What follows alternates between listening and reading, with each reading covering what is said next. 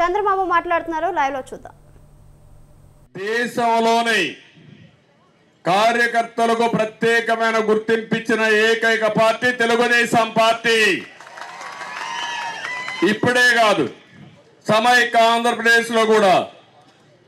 అంత మునుపు ఏరే పార్టీ ఆఫీసులకు పోతే వీళ్ళు డబ్బులిచ్చి కాఫీ తాగాలి లేకుంటే డబ్బులిచ్చి లంచాలు ఇచ్చి అపాయింట్మెంట్లు కావాలి. కానీ తెలుగుదేశం పార్టీ ఎవరైనా ఆఫీస్కి వస్తే సొంత ఇంటికి పోయినప్పుడు ఏ విధంగా గౌరవం ఉండాలో ప్రత్యేకంగా మిమ్మల్ని గౌరవించిన పార్టీ తెలుగుదేశం పార్టీ. ఇప్పుడు కూడా క్యాంటీన్ అక్కడ కంటిన్యూ అవుతుంది. హైదరాబాద్లో అమరావతిలో కానీ మధ్యాహ్నం పూట ఎవరన్నా వస్తే భోజనం చేయకుండా పోయే పరిస్థితి లేదు. అది తెలుగుదేశం పార్టీ ప్రత్యేకత అని చెప్పి కూడా నేను మీకు తెలియజేస్తున్నా. కార్యకర్తలకు జీవిత బీమా పెట్టిన పార్టీ తెలుగుదేశం పార్టీ. ఈ విషయం కూడా మీరు గుర్తుపెట్టుకోవాలి. ఎవరన్నా చనిపోతే రెండు లక్షల రూపాయల ఆర్థిక సహాయం చేశాం. ఇప్పుడు కూడా మనం ఒకటే ఆలోచిస్తున్నాం.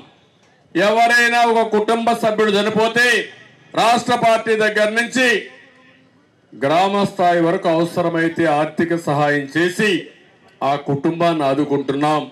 తెలుగుదేశం పార్టీలు ఎవ్వరు కూడా అనాథలు కాదు. ఎవరున్నా లేకపోయినా తెలుగుదేశం పార్టీలో ఒక భద్రత ఉంటుందనే విషయం మీరందరూ గుర్తుపెట్టుకోవాల్సిన అవసరం ఉంది. అయితే ఇక్కడికి నేను వచ్చినప్పుడు ఈ భవిష్యత్తులో కూడా ఇంకొక స్థాయికి తీసుకుపోవాల్సిన బాధ్యత ఉంది. నన్ను గౌరవించారు. పార్టీ మీద ప్రేమతో ముందుకు పోయారు. అధికారం వచ్చినప్పుడు కొంతమందికి పనులు కాలేదని కూడా అసంతృప్తి ఉంది.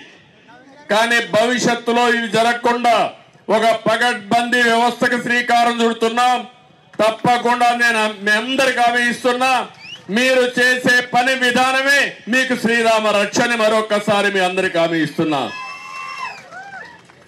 ఒకప్పుడు ఆర్గనైజేషన్ పై నుంచి ఉంది రాష్ట్ర పార్టీ జిల్లా పార్టీ మండల పార్టీ కాన్స్టిట్యున్సీ పార్టీ మండల పార్టీ గ్రామ పార్టీ అనుబంధ సంస్థలు.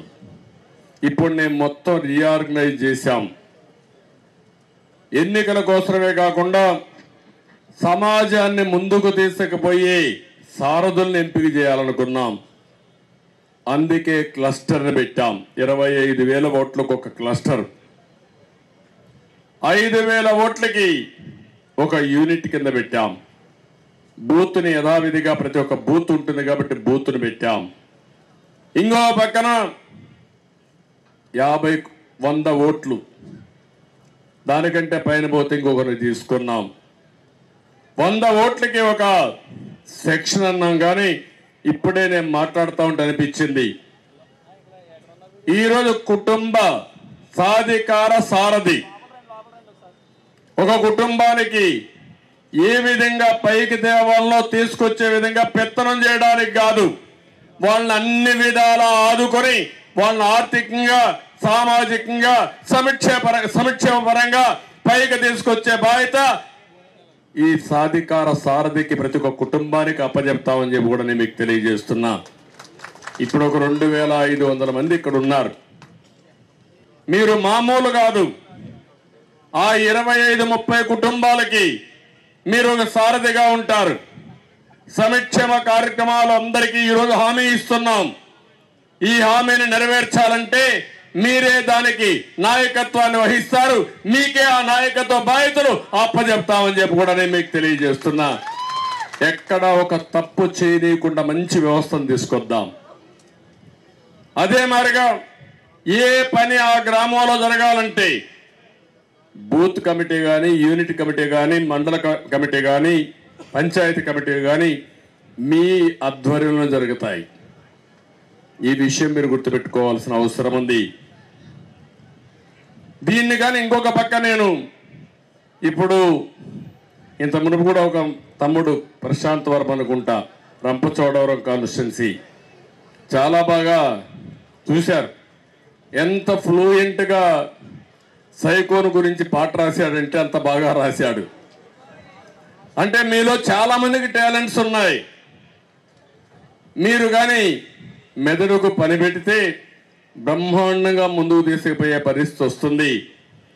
నేను ఇక్కడ ఒకే విషయం ఆలోచిస్తున్నా. ఇక్కడ వేదిక పైన వాళ్ళందరూ తెలివైన వాళ్ళు మాకు తెలివి లేదు కాబట్టి కిందన కూర్చున్నామని లేదు. మీకు అవకాశం ఇస్తే మీలో చాలామంది వేదిక పైన వాళ్ళకంటే ఇంకా బాగా చేసే సమర్థత మీలో ఉంది. ఈ విషయం మనం గుర్తుపెట్టుకోవాల్సిన అవసరం ఉంది. ఎందుకు నేను ఈ మాట వాడుతున్నానంటే